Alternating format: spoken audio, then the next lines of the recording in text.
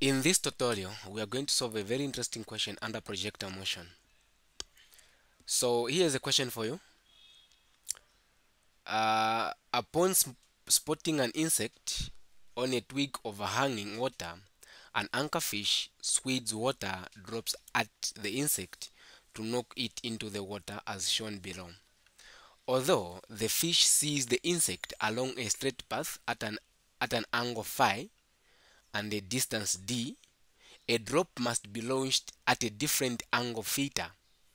If its parabolic path is to intersect the insect, if phi is 36 degrees and d is 0.900 meters, what launch angle theta is required for the drop to be at the top of the parabolic path when it reaches the insect? Okay, so as you can see from the diagram here, we have the archer fish and the insect on top there.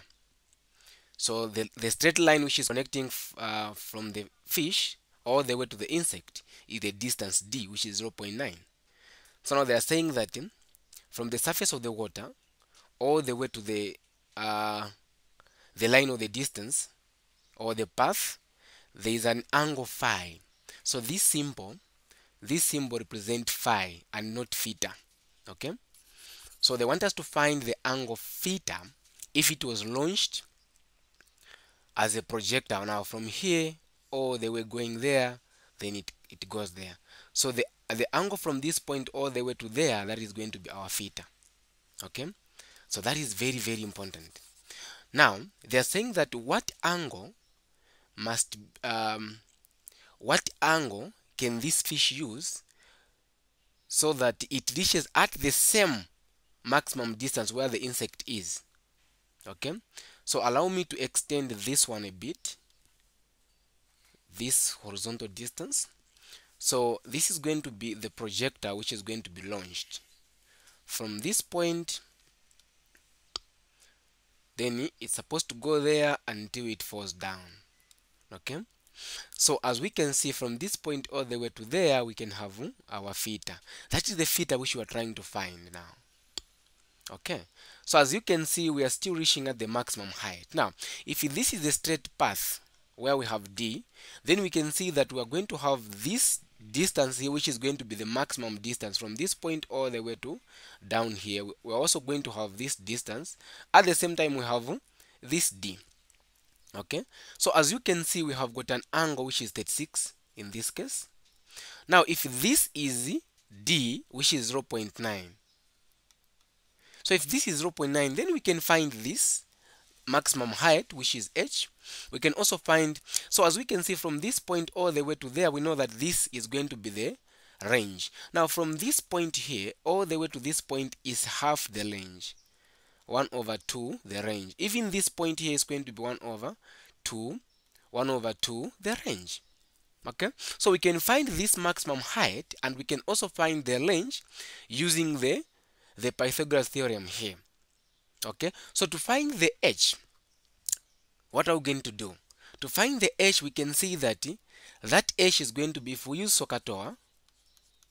Okay, if we use SOHCAHTOA, we are going to say that eh, sine is going to be opposite over hypotenuse. So sine theta is going to be equal to the opposite in this case is h the hypotenuse is 0.9 so we're trying to find h. So h is going to be 0.9 sine the uh, the phi. In this case we are talking about the phi and not the theta which is 36 degrees.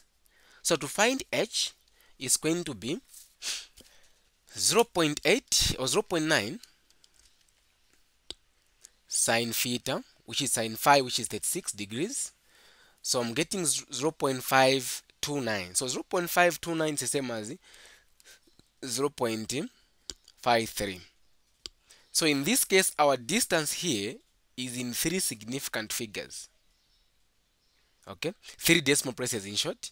So if it is in three decimal places we can see that even here we need to leave our answer in three decimal places which is going to be 529 meters. So that is our h now. Okay?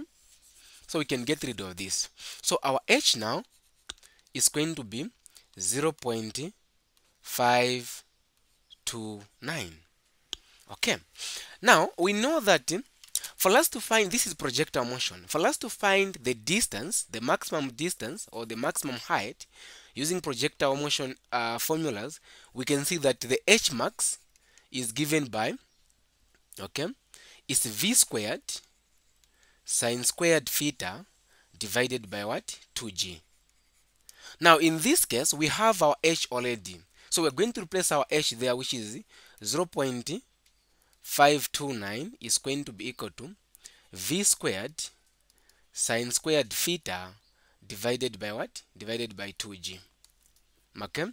At this point now we can cross multiply so that we get rid of this uh, bottom part here.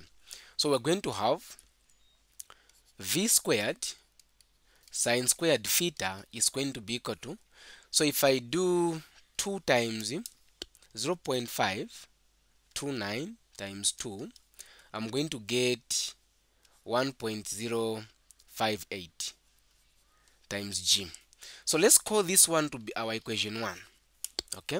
So I'm going to put this equation 1 here. Since we are trying to find the theta we don't have the velocity in this case. So we need to have we, we have two unknown variables. We don't have theta we don't have what? The v. So we need to have two equations in this case. So I can now remove this. So my first equation now I can see that I have v squared sine squared theta is equal to 1.058 g. So this is our equation 1 okay now let's see how we can get another equation using the range so range we are going to use we are, we are now going to get this one only the half of it. So to find that one using SOHCAHTOA we see that we have adjacent over hypotenuse. So you can see that it's going to be cos. So cos theta is going to be equal to the adjacent is uh, half times r everything divided by what the the hypotenuse. In this case the hypotenuse is 0, 0 0.9 so we can see that half range is going to be equal to 0 0.9 cos the phi in this case is not theta but phi because we are using this angle 36 so the phi is 36 so we are going to if I want to find r I can see that I can cross multiply and then r is going to be 2 times 0.9 cos 36 so my range in this case is going to be 2 times 0.9 is 1.8 so 1.8 cos 36 so this is giving me the range to be 1.456 okay meters. So now since our range now is uh, 1.456 meters. Now we know the formula for finding the range. In this case we don't have time. Now we know that the formula for finding range we know that range is given by vx times t. Now if it, it was projected at an angle this range is going to be this range is going to be vx which is v cos theta times t. Now the time which we are talking about here, the time is given by the formula t from this point all the way until it reaches down there, it is given by 2 v sine theta divided by g. So I'm going to replace t with c, so we have v cos theta times 2 v sine theta divided by g. So you're going to see that the range is given by the formula. We're going to have v times v is v squared. Then we're going to have 2 sine theta cos theta. Then we divide this by g. Now what we have to understand here is that we have got an identity here. So the formula for range, this one is squared. So the formula for range is given by, we can see that these two sine theta cos theta is an identity we can replace it with sine 2 theta okay? So perhaps you have seen this formula to say the range is given by v squared sine 2 theta divided by g so this is the formula for range. Okay? Now we have the range already. Our range is um our range in this case we have 1.456 is going to be equal to v squared sine 2 theta everything divided by g. So let's cross multiply. We're going to see that v squared sine 2 theta we're going to have um 1.456 times g. So we're going to call this one as equation 2 so we have v squared sine 2 theta is equal to 1.456 g. So let's call this one as equation 2 now we can divide equation 1 by equation 2 okay to find the theta. Now what we're going to do now there we're going to say we divide equation 1 by equation 2 so what is our equation 1 so we're going to divide equation 1 divided by equation 2 so we can see that equation 1 is v squared okay v squared sine squared theta mm, is going to be equal to we can see that we have 1.058 g. I'll divide it by equation 2 so equation 2 is v squared sine 2 theta has to be equal to 1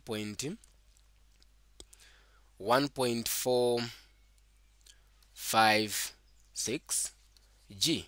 Now from this point we can see that we can cancel the v squared and v squared. We can cancel the g and g. So we're going to have sine, sine squared theta. We divide it by sine 2 theta. This is going to be equal to 1.058 we divide it by 1.456 now at this point we can see that this bottom part here is an identity okay? This identity we can replace it with 2 sine theta cos theta. So where there is this i'm going to replace it with what? This part here. So let's go ahead and see what we're going to have. So where there is uh, so I'm going to say this is going to give me sine squared theta I'm going to divide it by I'm going to divide it by uh, 2 sine theta cos theta. This has to be equal to 1.058 I divide it by 1.456 now from here we can cancel one sine so I'm going to cancel one sine here and I'm going to remain with one sine and this sine is going to go. Now we can see that we're going to have this let's get rid of this to create space.